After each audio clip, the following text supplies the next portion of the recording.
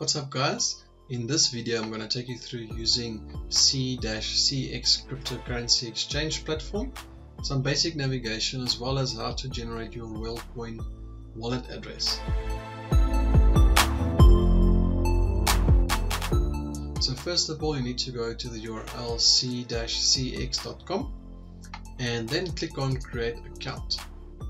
So once you've done that you need to go through and fill in each of these fields the login field is actually where you can enter your desired username. And then click on create account once you've filled in all those fields. Then you'll receive an email where you need to click on the confirmation link in order for you to start using your account. So I've already got an account and on one of the tabs here on my browser I've got the home page open. So I'm not going to go and fill in manually my username and password because I'm using a password manager program. I'm just going to ask it to fill in the details for me and then I click on sign in.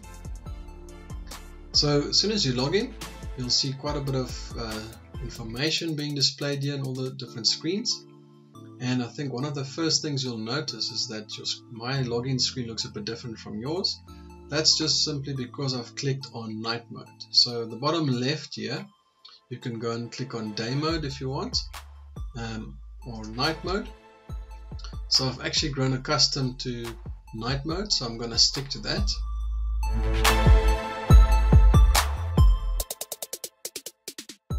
And one of the first things that we want to do once we've created our account is go and mark the particular currency codes that we want to use as our favorite coins. So for you to do that, on your home screen you click on favorite coins and then you'll see all the available currencies on this exchange and just go and mark the ones that you'd like to regularly use. So I've already got Royal and Royal Coin 2.0 marked over here. So once you've marked those coins, click on save. And all that does is just makes the visibility you know, a bit easier when you navigate through the system. So over here, this is the, the trade view. In this view, can, I can see on the header here the coins that I've marked as a favorite and their, their pricing at the moment.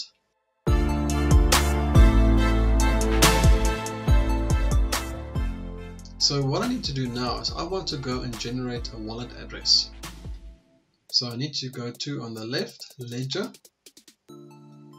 and on the top here I can go and pick the view that I'd like to have. So I can say show all which will show each and every currency available on this exchange.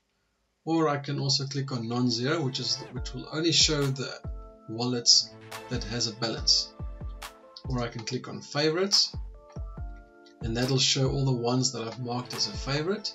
Then you can also click on filter if you're looking, for example, on the show all list and you want to look at one particular one. So it's very easy to go and generate a wallet address. So as you can see for Royal Coin 2.0, I already have a balance and I already have a wallet address. So all I had to do is just click on get new address. It'll take a second or two and then you'll have your address.